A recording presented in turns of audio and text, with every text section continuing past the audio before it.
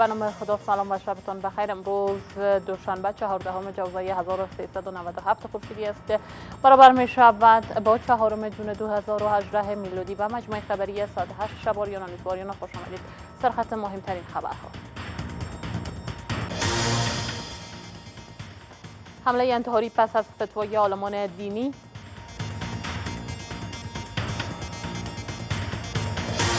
کسی که مؤمن را عمدن به قتل برساند جزای او جهنم است.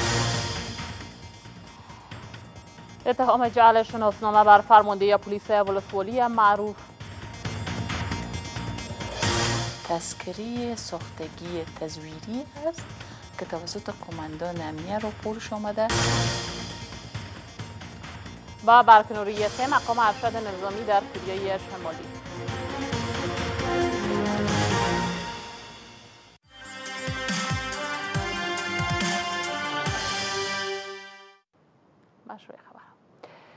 شماری از عالمان کشور با صدور فتوا حملات انتحاری و انفجاری در افغانستان را حرام دانستند. این علما از همه طرف های درگیر خواستند که هرچی زودتر اقدام به آتش بس کرده و به میز گفتگوهای صلح حضور یابند. افسون محمدی با جزئیات بیشتر.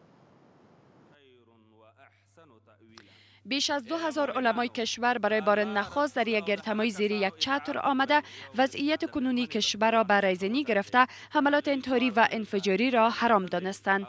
در بخش از فتوای علما صادر شده است که مبارزه مسلحانه و انجام سایر اعمال تحت نام جهاد در مقابل حکومت افغانستان که 99 درصد مردم آن مسلمان اند و قانون اساسی آن نیز اسلامی است. هیچ گونه جواز شرعی ندارد. در اسلام انتحار و انفجار وجود ندارد. پس به همین دلیل تمام حملات انتحاری حملات حراس افغانانه به صورت قطعی از دید اسلام حرام است. کسی که مؤمن را عمدن به قتل برساند جزای او جهنم است. که همیشه میماند. و غضب الله و لعنت او بر آن شخص است. شمار دیگری از علما اینجا حملات حراس افغانانه را به کفر تعبیر کرده. از طرفین جنگ به ویژه طالبان خواستند که به کشورهای بیگانه اجازه داده نشود تا در امور کشور از نام دین و اسلام استفاده کنند و از حکومت خواستند تا به نظر علما احترام گذاشته از آنان حمایت همه جانبه کند. در اصطلاح حدیث هم جنگ و اختلاف با کفر تعبیر شده. ټینګار کوو چې دغه جګړه هیڅ راز دینی او شرعي سبغه نه لري همدا جګړه ده چې بیرونی مداخلو ته زمینه مساعده کړي او د اسلام او افغانانو د بدنامۍ سبب شوې ده. پیش از این نیز شماری از علمای افغانستان، پاکستان و اندونزیا در گرد همایی حملات انتحاری را حرام اعلام کردند. اما گروه های حراس افغان در یک ماه گذشته به این دیدگاه احترام نکرده حملات انتحاری و انفجاریشان را که بیشتر غیر نظامیان را قربانی می گیرد افزایش دادند. حمله انتحاری بر آلمان دینی که جنگ افغانستان را غیر شرعی اعلام کردند هفت کشته و نو زخمی بر جا گذاشت. وزارت داخله می‌گوید که شمار زیاد قربانیان رویداد امروز غیر نظامیان بودند به گفته این وزارت مهاجم انتحاری مقابل درب ورودی خیمه لوی جرگه مواد انفجاریش را منفجر ساخته با آلمان دین را هنگام ترک گرد همایی درباره جنگ افغانستان نشانه گرفت. باعث حیات به محل رویداد رفته بود و گزارش تهیه کرده برای نخستین بار هزاران عالم دین از تریبیون خیمی لوی جرگه جنگ افغانستان را غیر شرعی و حملات انتحاری و انفجاری را حرام و ناروا اعلام کردند. اما در پایین فتوا مهاجم انتحاری زیر پوشش لباس غیر نظامی سراغ عالمان دین می‌رسد.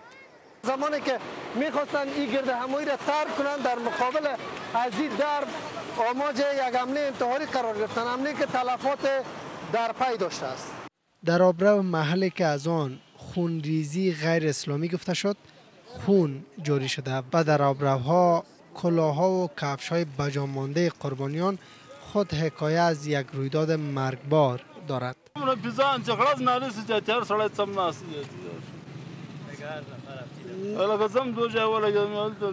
صدا داد نفرها میسو دوید کلک.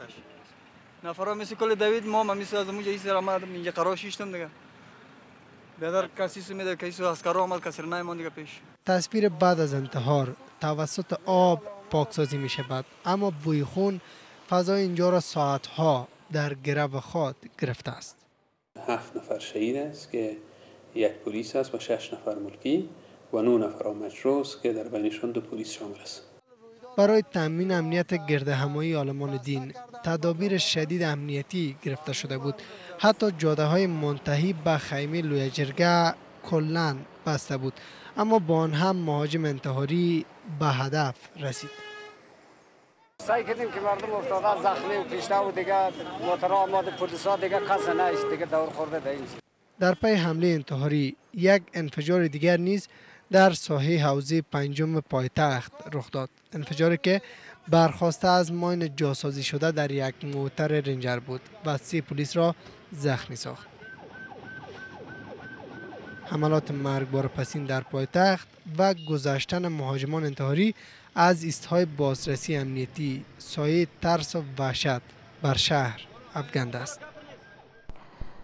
خبر جعلکاری فرمانده پلیس ولسوالی معروف قندهار در حال بررسی است. کمیسیون مستقل انتخابات می‌گوید این فرمانده تصمیم داشته است تا نصب برچسب را در شناسنامه های ساختگی بر کارمندان کمیسیون در این ولسوالی تحمیل کند. مسئولان در این کمیسیون می‌گویند ایجاد بانک اطلاعاتی برای نهایی سازی فهرست رای دهندگان است که می‌تواند جلو تقلب را حتی تا روز رایدهی هم بگیرد. دلی از غریب گزارش می‌دهد.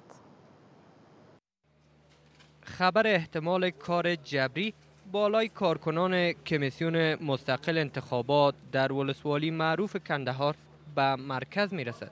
این خبر از قول کمیشنران کمیسیون چنان آفتابی می شود که گویا فرماندهی پلیس ولسوالی معروف قندهار یک مقدار شناسنامه جعلی را می‌خواسته برای برچسب زدن بالای کارمندان کمیسیون در اینجا تحمیل کنند. تذکری ساختگی تزویری است که توسط قماندان امنیه رو پرش آمده بالای کارمندای انتخابات تحمیل می شده ولی کارمندای انتخابات از نصب برچسب به تذکره ها خودداری کردند. یعنی تا به حال مجرمیت کارمندای انتخابات مطرح نیست. و اینجا کمیسیون 210 تن را در دو زمان جداگانه مصروف یک برنامه جدید ساخته است. کمیسیون مستقل انتخابات کماکان با ایجاد بانک اطلاعاتی می‌خواهد جلو تقلب در انتخابات پیش رو یعنی انتخابات مجلس نمایندگان و شورای ولسوالی ها را بگیره این مرکز چند کار بزرگ را انجام میده هدف از این سیستم این است که ما لیست رای دهنده را بتونیم بسازیم.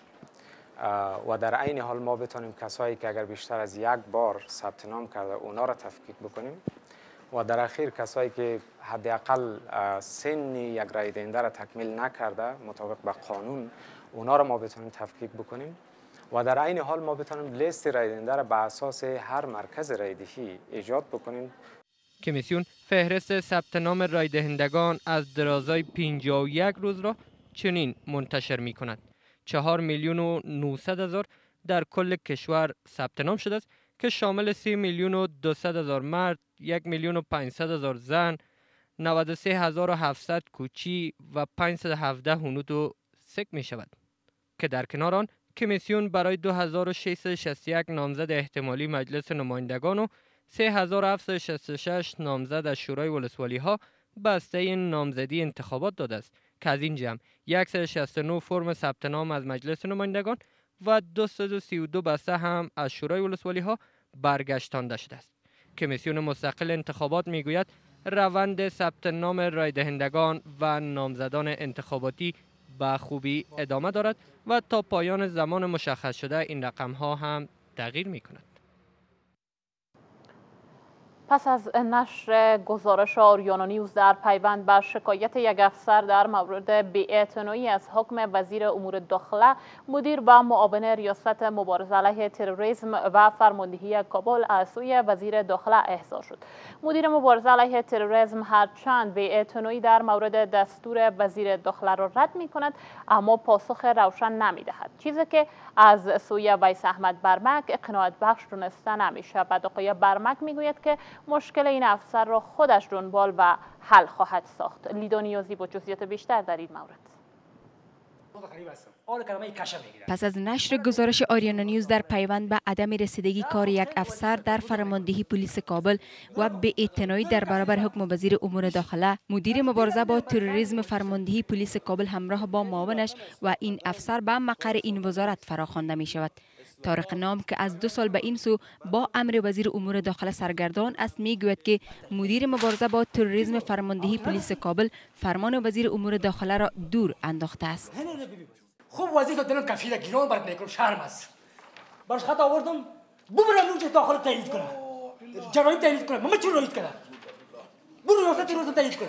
این این بیده بیده ولی خاطر می‌کنم ساده بنمی ما من گفتم غریب ادم زیر پاش هستیم این زیر پاش هستیم مو وزیر سای بلکه خود خود خواهی نان نیست برو برای اما با انکار مدیر مبارزه با تروریسم فرماندهی پلیس کابل روبرو می شود جناب علی باعث مدیر توریسم زون 101 کابل فعلا کار می‌کنی همین یک اولاد غریب بیچاره بیا واسطه نداشته باشه نداشته باشه و حکم وزیرم باشه هم سری و تا اینجا رسیده باشه و تو باز پرخشن تو پرتی این خود تمرد زم است من از این لحظه سه بدار را بزن بکنم. اگر نیم روز هفت سال بودم من یک بینز باز و دیسپلین نشم که عامر خود نشناسم وزیر خود نشناسم این خو میگه. ظاهرا مدیر مبارزه با تروریسم فرماندهی پلیس کابل پاسخ قناعت بخش به وزیر امور داخله ارائه کردن نمی‌تواند. مکتوبی که در اوایل ماه جوزا به مدیریت مبارزه با تروریسم فرماندهی پلیس کابل رسیده است وزیر داخله پاسخ آن را بعد تاریخ 14 جوزا مییابد. امی اولین آخرین تا نمی است گزارش شنیدین دو دفعه فهمیدن که وزیر می‌خواد دیگه مجبور است جناب به خاطر این دو دو دفعه مکتوب خدمتی برای مبارزه دو دفعه در بس کم بود دو دفعه مکتوب. این مکتوب دومیش است اصلا این. مکتوب دومی شما باور کنید. از رئیس مبارزه با تروریسم شما پرسان قابل قبول نیست. امو وقت جوابش می‌دادن که میامد و سلسله مراتب. تو برای من تاریخ مکتوب نشه میگی 14 3 13 97 چی معنا می‌کنه جنجال ها حدود نیم ساعت بعد درازا می کشد اما به نتیجه دست نمییابند. اما وزیر امور داخله بر ادامه بررسی ها تاکید می ورزد و هشدار می دهد که سرپیچی از حکم وزیر برخورد قانونی را در پی خواهد داشت. در وزارت داخله هم در رهبریش و هم در شکلش و هم در محتوایش حال تغییر آمده.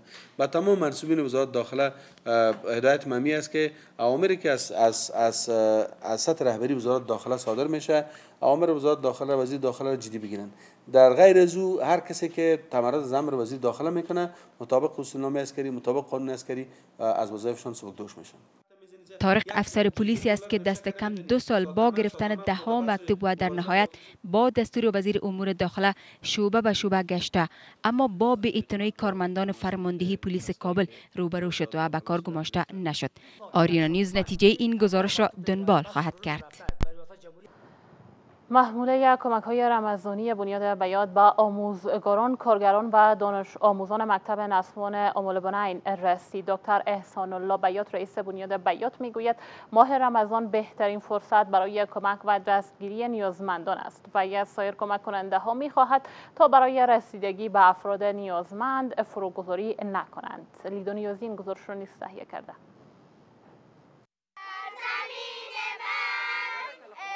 به سلسله کمک های رمضانی بنیاد بیات این بار این بنیاد برای آموزگاران و کارگران مکتب ام البنین آرد، برنج و روغن توضیح کرد. رئیس بنیاد بیات این کمک ها را تلاش برای دستگیری نیازمندان می داند.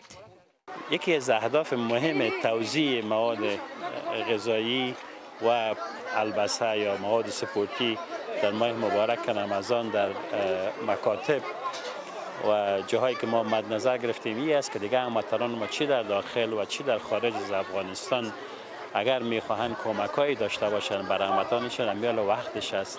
امیال فرصت بسیار خوبی است.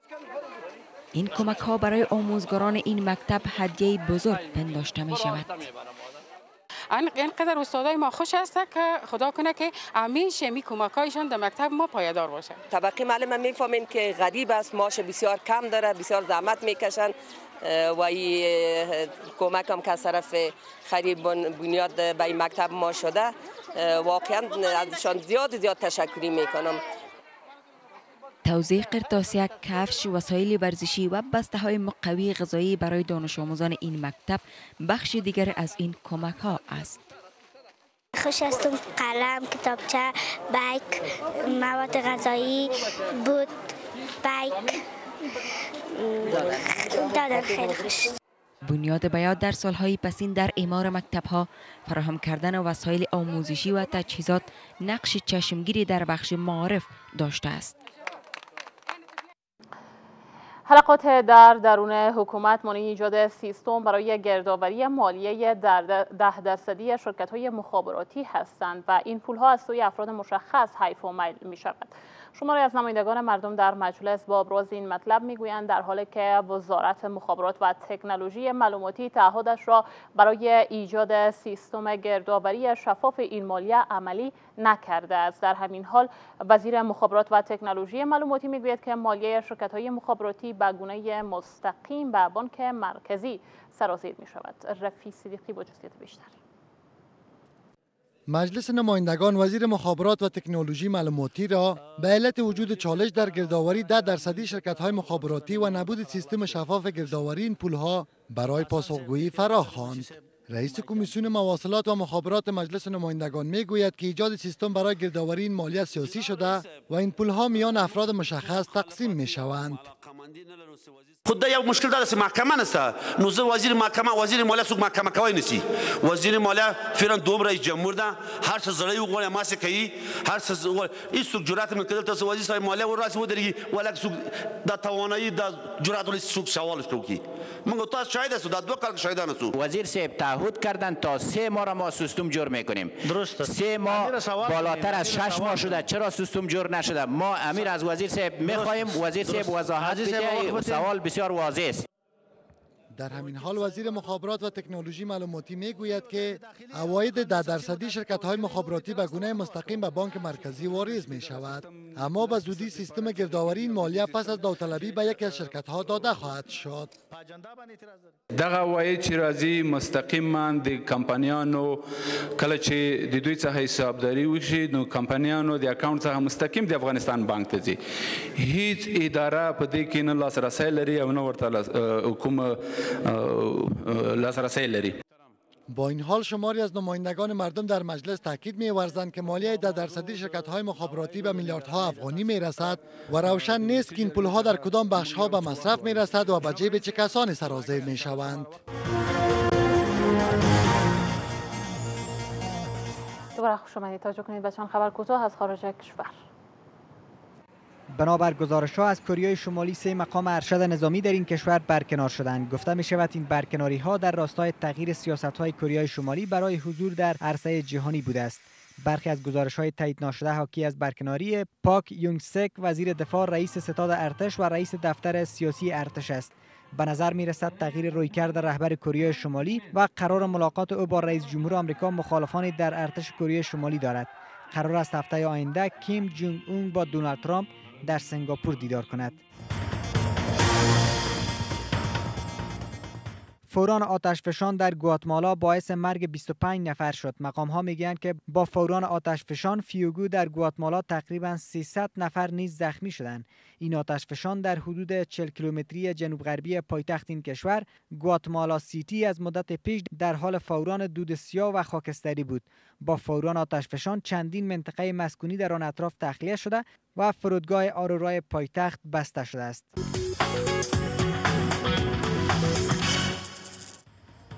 به خبر اقتصادی خوش آمدید وزارت معادن از طرح تازه برای بررسی تصدی های تبلیدی این وزارت خبر می دهد. سرپرست وزارت معادن می گوید که بررسی ها در مورد این تصدی ها آغاز شده و سطح تبلید بلند خواهد شد. این مسئولان از فسخ قرارداد تبلید سمنت غوری خبر داده می گویند قراردادهای دیگر نیز بازنگری خواهند شد. وزارت معادن برای بهبود خدمات تصدی های این وزارت بررسی های تازه را آغاز کرده است. سرپرست وزارت معادن می‌گوید پس از بررسی کارخانه سمنت غوری دیده شد که پیمانکار به اساس قرارداد کار نکرده است. وعده های این شرکت به حکومت 152 میلیون دلار سرمایه گذاری ساخت کارخانه دوم و بلند بردن تولید در 24 ساعت تا 1400 تن سمنت بود که عملی نشده است. سرپرست این وزارت می‌گوید به دلیل کنکاری قرارداد با این شرکت فسخ شده است. شرکت هایی که پروژه را گرفتن و متاسفانه در قسمت هیچ کار نمی‌کنن سرمایه گذاری علاقمندی ندارن بکنن و بعدا پر از پیش ما وقت پروژه را گرفتن بردن دست دو سه فروختن. در قسمت از اونا ما دیگه نمی‌تونیم که قسم پیش بریم. یا ایست که کارهای خود استاد کنن و بالاخره به اون تعهد که ضرورت است کار خود پیش برن. مسئولان بخش حقوقی وزارت معادن نیز می‌گویند که چند تصدی شامل کارخانه سمنت هرات و معدن طلای غزنی نیز زیر بررسی است. تمام مقروضیت هایی که از طرف کمپانی حساب شده جرایم تاخیر هم دارد در قرارداد سمنت غوری ما یک ماده مشخص داریم که در اونجا جریمه تاخیر در صورتی که مکلفت ها اجرا نمیشه و مکلفت های تادیاتی پرداخته نمیشه قراردادی مکلف هست که جرایم تاخیر نیز بپردازه. وزارت معادن یکی از نهادهای حیاتی برای حکومت وحدت ملی دانسته می شود اما نهادهای ناظر کارکردهای این وزارت را در چند سال گذشته اثرگذار ندانسته و از افزایش تاراج معادن از سوی گروه های حراسفگن و مافیا نگرانی کردند. توجه کنید به شما از اثار خارجی در برابر پولافانی در بازارهای کابل.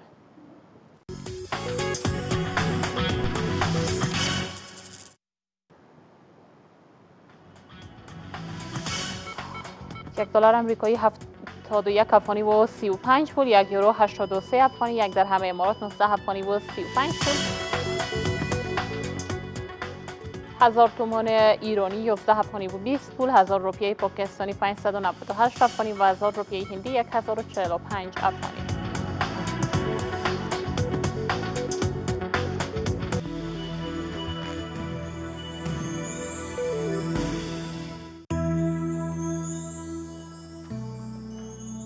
کابل نیم آفتابی بلندترین درجه حرارت 35 پایین‌ترین 20 هرات آفتابی بلندترین درجه حرارت 38 پایین‌ترین 21 مزار شریف آفتابی بلندترین درجه حرارت 37 پایین‌ترین 23 جلال آباد نیم آفتابی بلندترین درجه حرارت 44 پایین‌ترین 28 قندهار آفتابی بلندترین درجه حرارت 43 پایین‌ترین 26 با غزنی نیم آفتابی بلندترین درجه حرارت 32 پایین‌ترین 17 از همراهیتان با مجموعه خبری این ساعت سپاسگزار هستیم. شبتان خوش خدا نگهدار.